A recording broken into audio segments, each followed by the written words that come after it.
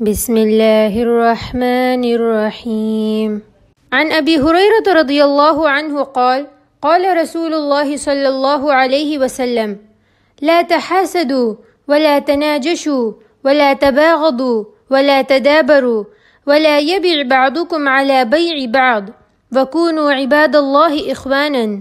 المسلم أخو المسلم لا يظلمه ولا يخذله ولا يكذبه ولا يحقره التقوى ها هنا ويشير إلى صدره ثلاث مرات بحسب امرئ من الشر ان يحقر اخاه المسلم كل المسلم على المسلم حرام دمه وماله وعرضه On the authority of Abu Hurairah radiallahu anhu, who said, The Messenger of Allah sallallahu alaihi wasallam said, Do not envy one another, and do not inflate prizes for one another, and do not hate one another, and do not turn away from one another, and do not undercut one another in trade, but rather be slaves of Allah and brothers amongst yourselves.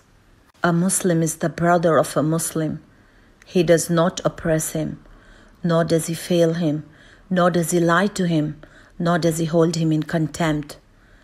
Taqwa is right here, and he sallallahu alaihi wasallam pointed to his chest three times.